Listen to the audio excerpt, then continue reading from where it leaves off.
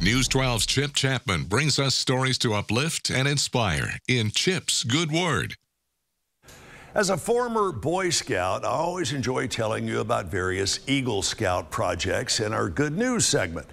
But tonight, wanted to highlight some projects by local Girl Scouts. We had three local young ladies from our area who won gold awards this year. Meet Alexia. Alexia is from Signal Mountain and she helped create a free string instrument program at Thrasher Elementary. Not only did she help create it, she taught the lessons and created YouTube videos to help out. Way to go. Next up, we have Abigail Blazer.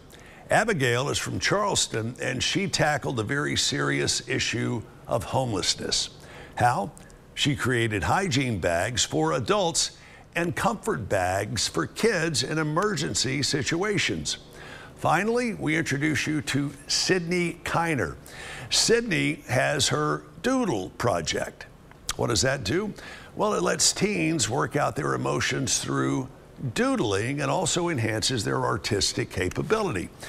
The student from right here in Chattanooga collected their art and displayed them on social media and at a local art gallery.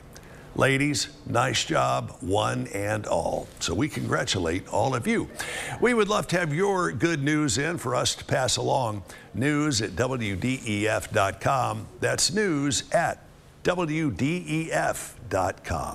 So from one scout to you three ladies, Alexia, Abigail, and Sydney, job well done.